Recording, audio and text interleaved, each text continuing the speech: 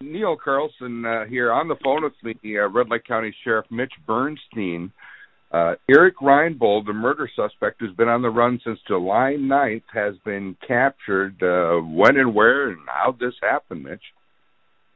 Uh, well, the U.S. Marshals have been up here uh, working pretty diligently on this uh, apprehension the last few days again. So, I mean, uh, the Pennington County Sheriff's Office and our office have been working with them.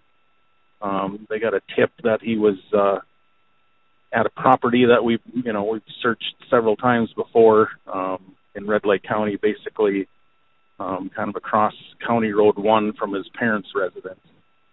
Um, they had uh, the marshals had their team deployed and they were able to find him attempting to hide in the woods.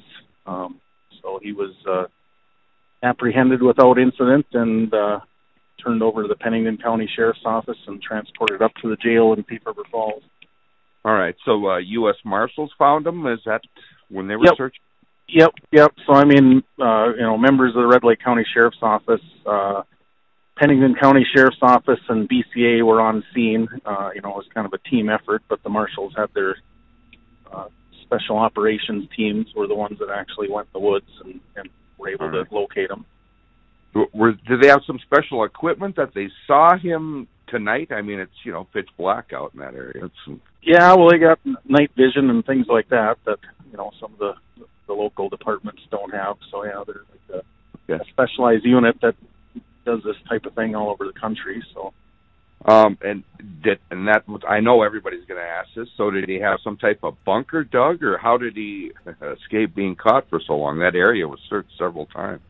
Yeah, well, I think he just you know when we were looking one place, he had moved. You know, by the time we got there, he moved somewhere else. And tonight Okay. we were fortunate enough where he you know he was caught on a camera and didn't didn't get that far from it when he was gonna bed down for the night. So how it worked out. So.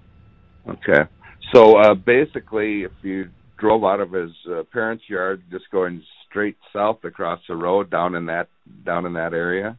Yep, yep, yep. Just a little bit to the west. Yeah, a little bit to the west and south of his parents' place. I think there's a bunch of beehives in there now or something. Yep, too. yep. It would be uh, about uh, quarter mile west of those beehives is where. Um, Okay. Yeah.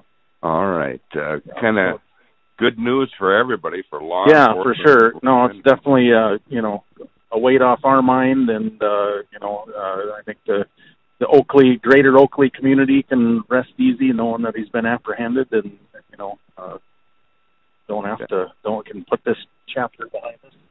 All right. Rest a little Uh, easier. So. Uh, did you were you able to see him at all?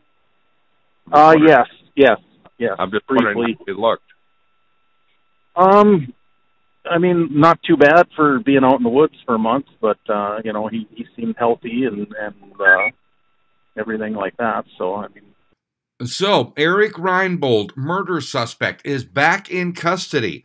He's suspected of stabbing to death his wife, Lissette, at their uh, home in Pennington County on July 9th.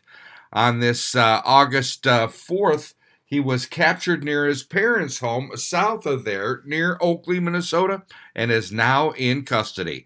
I'm Neil Carlson reporting for iNewZ.TV.